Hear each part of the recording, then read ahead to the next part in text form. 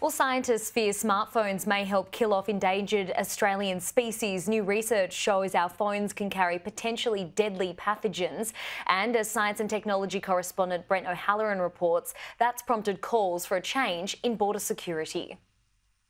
Chatting, snapping, texting, and scrolling. Around 20 million Australians are on their smartphones each day.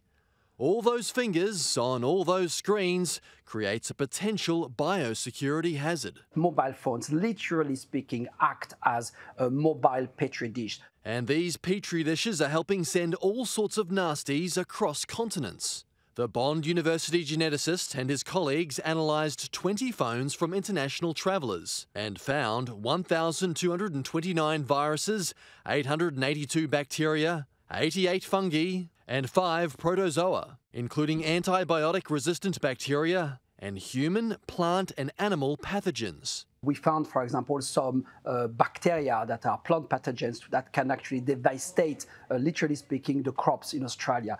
And animals too. The western ground parrot is seen as particularly vulnerable to pathogens which can be transported on smartphones. There are around 150 of them left. And that is actually a pretty red flag for the biosecurity authorities of our country. Researchers say 749 million microbes may have been introduced to Australia in one year via mobile phones. This researchers' plan is to have phones scanned and cleaned at the border.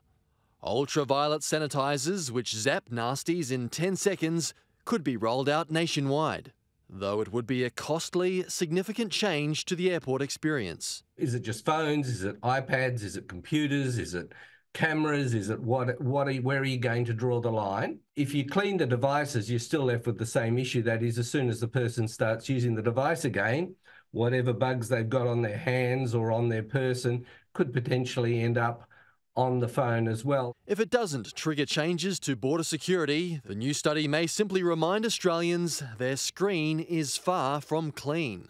Our pockets provide the ideal conditions for bacteria to thrive, and researchers say there's one place you absolutely should not take your smartphone probably 50 to 60% of all of us use mobile phones in the toilet. And you know what it means? It means that we cross-contaminate our mobile phones with fecal-derived bacteria, E. coli, and you name it. Brent O'Halloran, Sky News.